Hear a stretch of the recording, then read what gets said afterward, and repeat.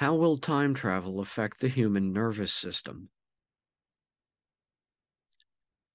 Time travel in a very local, very limited form is already being practiced, and so we can see what effect this has on the nervous system of people who undergo it even now, and thus make predictions, right or wrong, about how longer time travel trips might affect a person as well.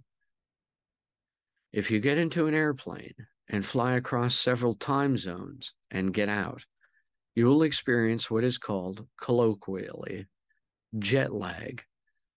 Studies done on jet lag find it arises due to the hippocampus's endocrine secretions falling out of their usual circadian rhythm. This causes all the other autonomically functioning systems to each fall into its own tempo. And this pattern of multipolarity in terms of one's bodily clock results in the disorientation, fatigue, and inflammation one feels collectively as symptoms of jet lag. Of course, the longer the trip, the more alien the chronological environment will be when one arrives, and thus the greater their degree of jet lag. Likewise, the shorter the trip, the less the symptoms are likely to persist. This much, at least, can easily be predicted to be holographically transferable from simple airplane travel to deep space travel at FTL speeds, let alone travel through time itself. After all, time travel is nowhere specified as being necessarily exclusive to travel through time by itself.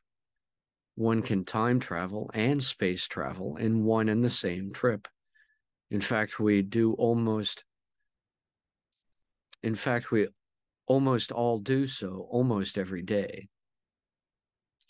When you get in your car and drive to or from work, you're traveling through space and time both, albeit not outer space on a journey of so great a distance as, say, to the moon and back. The lunar distance from Earth is, on average, approximately 385,000 kilometers. That is 239,000 miles, or 1.28 light seconds.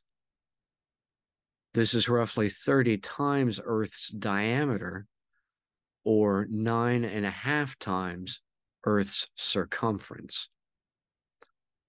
Nevertheless, Earth's equatorial circumference is around 40,075 kilometers, 24,901 miles, which is actually less than the mileage on many people's vehicles.